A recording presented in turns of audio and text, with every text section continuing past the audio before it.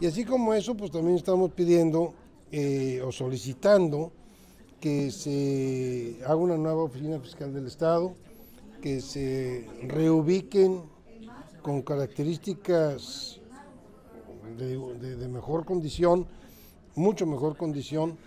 Te voy a poner un ejemplo bien simple, de los tendajos a los oxos, valgas el gol, eh, sobre las, las oficinas de registro civil y todas las dependencias que luego están viejas, que todavía tienen las telarañas y que bueno, nosotros todos así lo vemos. ¿no?